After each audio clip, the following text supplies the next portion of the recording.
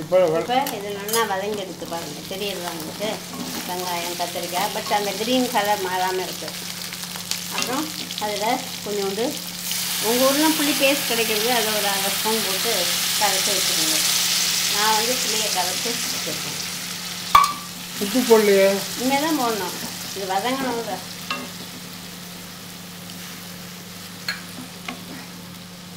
அப்புறம் இது கொதிக்கும் போது இந்த அரைச்சி அரைச்சிருக்கோம் இல்லையா? அந்த பேஸ்ட் இது மாதிரி இருக்கும். இந்த புதினா இதெல்லாம் வச்சு அரைச்சது. அதையும் போட்டுருங்க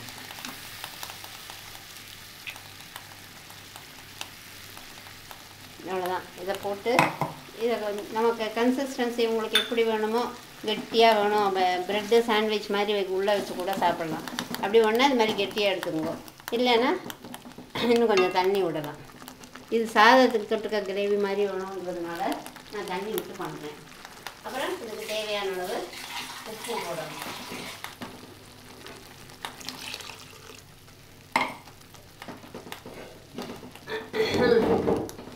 உப்பு.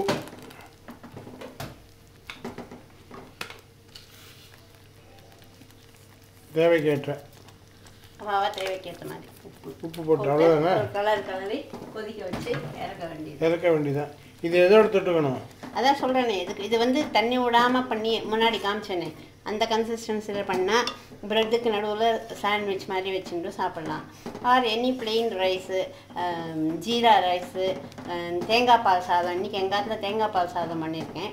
அதுக்கு என்ன பண்ணோன்னா பாஸ்மதி ரைஸ் ஒரு பத்து நிமிஷம் ஊற வச்சுட்டு அந்த பாஸ்மதி ரைஸில் ஒரு கப்பு ரைஸ்னாக்கா ரெண்டு கப்பு தேங்காய் பால் விட்டு ஒரு சொட்டு வாசனைக்காக நெய் விட்டு ஓவனில் ஒரு டென் டு டுவெல் மினிட்ஸ் வச்சேன்னா சாதம் ஆகிடும் அந்த சாதத்தை எடுத்து இதை சைடாக கிரேவி வச்சு ஒரு டெக்கரேட்டிவாக வேணும்னா வெள்ளரி க குக்கும்பர் இல்லையா ஸ்லைசஸ்ஸு கேரட்டை ஸ்லைஸ் பண்ணி சைடில் வச்சு வேர்க்கடலை இல்லையா பீனட்டு பீனட்டு தோல் எடுத்த பீனட்டு அதை கொஞ்சம் சைடில் வச்சு கொடுத்தா குழந்தைலாம் நல்லா சாப்பிடும் இதை பண்ணி பாருங்க. இது- பேர் என்னையா க்ரீன் கிரேவி எவ்வளோ தானே சொல்கிறது க்ரீன் கிரேவி பேர். பண்ணி பாருங்க. இது வந்து side dish side dish green gravy நல்லா இருக்கும்னு நினைக்கிறேன். தேங்காய் பால் சாதம் இன்னைக்கு எங்கள் பண்ண போகிறேன் அவ்வளோதான் அதான் ரொம்ப நல்லா இருக்கும். நீங்களும் பண்ணி பாருங்க. க்ரீன் கிரேவி தொட்டுக்க சிப்ஸ் வச்சுக்கலாம். ஆர் அந்த பீனட்டு தோல் உடிச்சது அப்புறம் வெள்ளரிக்காய் கேரட்டு இதெல்லாம் பீ வெங்காயம் அதெல்லாம் பீஸ் பீஸாக நறுக்கி பக்கத்தட்டில் கூட வச்சு